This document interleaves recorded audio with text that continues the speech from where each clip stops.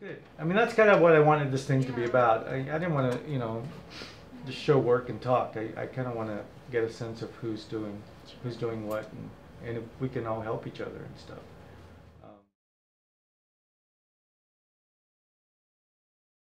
I think I always liked candid when the person's not really looking at the camera. Just grab, you capture that moment and they're not looking. It's, you kind of have people interpret what they're, what the image is about. Something like that. cool. And what was your favorite assignment or assignment that he really liked one of your pictures? Uh, had to be to be had to be the studio um, assignment. Our studio at school is not really up to par, not really updated uh, equipment. But I liked it because it was inside. You can control the lighting and control. It's a controlled environment. That's what I liked about it. So you're a control freak. It, it, it's okay. I, I think a lot of photographers are control freaks, right? Any anybody uh, attest to that? Yeah, there. I hear it. a nice control freak, right? Because because photography is, if it's really right, it's it's magic. Uh, Some of these guys will, will attest to that. When when when you're on, when you're at that moment, when you're not worried about whether you know you uh, got to pay the rent or the car loan or you know you got to pick up the kids or something. And when you just it's just you and, and whatever it is you're that's in front of you that you're photographing it's really really it, it's it's one of the most incredible things. And that's why I've been doing it for 40 years because I, I I like I like that wonder and that excitement and that sense of what's might happen in front of me or not. Getting the resources is the easy part okay? I'm, I'm gonna be straight up with you. It's your desire it's what you want to do and stuff. And i keep pushing that where um, hopefully you if you continue this and i get a sense that you you know what you want and i get a sense that you you know that you should just at some point don't worry about what people think. And that it would be just chris out there with her camera doing what she wants to do. Right? Mm. because you know I, I i've been very lucky but you know prize or no prize gallery opening or no gallery opening I, i'll still be shooting. I mean i'm i've shot like 2000 pictures not related to anything just of the family of the beach and, and everything. So um, you know i just continue to shoot. So, and see that that's part of the pictures. I shoot i shoot my kids no matter what and that's going that's not going to go anywhere. I mean, that's not going to win a prize, or that's not you know it's not going to be in a gallery. But I just continue to do it because it's something in my in my DNA and stuff. And I'm hoping that you'll you'll sort of get to that point, or you're at that point where you know you invite me to your your retrospective 40 years from now. What, what got me excited is light. I like I like maybe trying to capture some of the feeling, the the memory that I have when I go somewhere. you like that? I mean, I'm just going to get a sense you when you get the light right and you get your the right magnification with the the macro, you're you're you're happiest.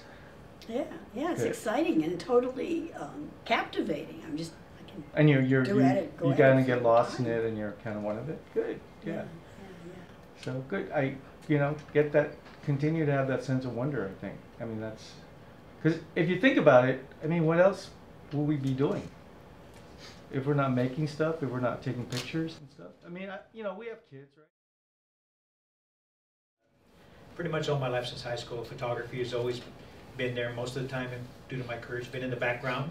Still dabbling here and there to kind of keep it fresh. Photography, it's, you know, to me, it's, it's been in my blood from the first class I took in high school and uh, I was never been able to shake it. It's just awesome. Can Did, did you take a lot of pictures when you were in the fire department? You know, I had a little digital point and shoot I take in, in, in my vest when I go out on fire. So I would take some pictures here when we're out there in the, up in the mountains and fire and sometimes it's sunset and the smoke and the flames are there and you got that haze and it's almost like a, a Manila sun, sunset, you know, and it's just some gorgeous stuff, but it's just with the little point and shoots. Yeah, I do the landscapes, which is, uh, you know, I really like that because Guam is just, uh, it's kind of like cheating. Guam is so beautiful. It's there's just you get out there, it's gorgeous. Black and whites, uh, but you know, always in the back of my mind, and I always gravitate towards uh, uh, candid portraiture, uh, industrial portraiture, or kind of like documentary. You know, that's what I really want to, you know, get get more into. You know, we have that. Uh, Bob Camacho and I have that uh, humans of, I mean, humans of Guam Facebook site where we're kind of dabbling into that, and uh, uh, so keep ourselves busy and and keep you know keep challenging ourselves. I think I think I've always had like a on-off relationship with photography. I was never really a consistent shooter, like someone who would just always have their camera. So I think I'm at a point in my life where I'm starting to get back into um, visual art, but but I'm also I have all these different passions like dancing and um, I've been really in the in the past year or so I've been really trying to integrate all of them in some way. Um, that is really coming from within and it's expressive and it's just more it's more of a an introspective um, process and um, and so I've been working more with video. Um, so I recently I bought a camera that has a video where I could I could uh, you know you get HD quality, and I haven't been as much as focused on technique. I think I've just been more focused on on um, exploring like a place that really means something to me. I actually like the video video work because I feel like um, because I do dance improvisations, so I like the idea of just being in the moment when I'm improvising, and then the video work is a way to choreograph. To me, that's there's two different things going on, and I like both. Yeah, Dave and I were talking about back in the day when we were shooting. It, it seemed like everybody was really protective, right, Dave? Oh yeah, some of the work nobody shared. because you know Yeah. nobody wanted to No.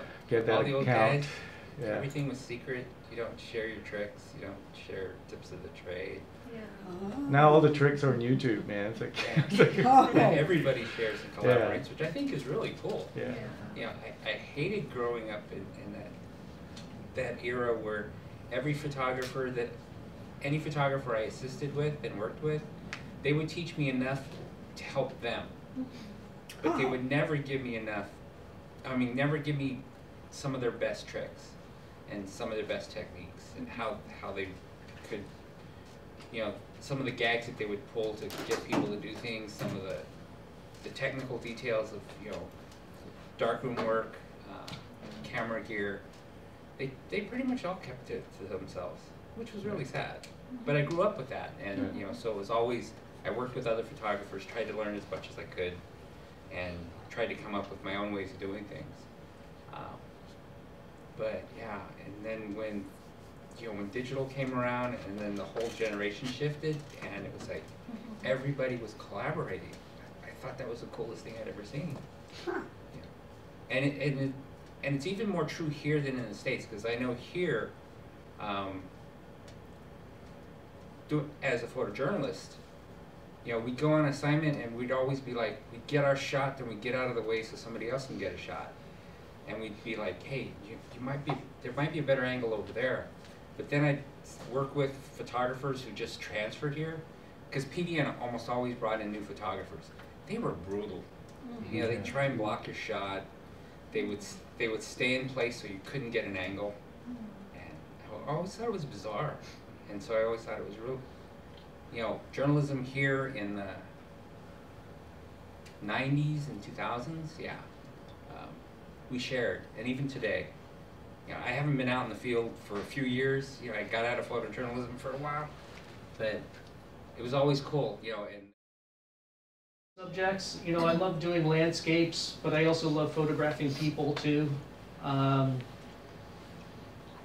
I, you know, I, I think uh, using a camera is a way of like exploring uh, things, different subjects, and learning about things and just uh, experiencing life, you know. Uh, I always like the thing that Henri Cartier-Bresson said, uh, which is um, to make interesting pictures, all you have to do is experience life, and life will give you pictures. If I do something for myself, I'm doing landscapes. I just like being out in nature and uh, photographing uh, light, you know, the light uh, interacting with the landscape. It's just very elemental, very primal. When I was working with the uh, the photographers when we did FestPac, and I went to them and I'm like, so how do we shoot this? I said, you go there and you belong. You belong there, and you are the best photographer out at Paseo or Dededo or Agat. And they're like, what? Because no, you, your attitude is, you got to go out there and you're the best photographer. Even if I'm there, you're the best photographer. And I'm not saying that to be sort of as, as an ego thing. You need to go out there with confidence.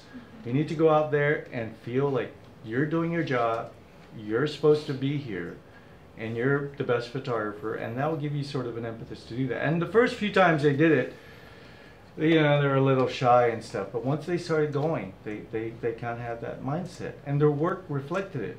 And not because, again, not because they were coming from a sense of ego, but they were coming from a place of confidence and stuff. So Chris, when you go out there, even though I'm there, you're the best photographer out there. And, and you should really, you should, you should go out with that attitude. I mean, you don't, you don't have to be mean, you don't have to block people and stuff, but just, just in your mind say, I'm the best photographer out here and I'm gonna do my best. And it'll be amazing how much that can, you know, that confidence can help you and stuff. Um, you know, I, I started doing that. I mean, I was a young photographer, and there were people from National Geographic and the New York Times and, and all these other people at these huge, big shoots and stuff. And I'm like, I'm saying, I'm going to kick your ass. No, I, you know, what I mean, but I said that in my mind, because then I needed to do my job. And if I'm being sort of shy or feel that, you know, I wasn't, you know, worthy or good enough, then the pictures will reflect that.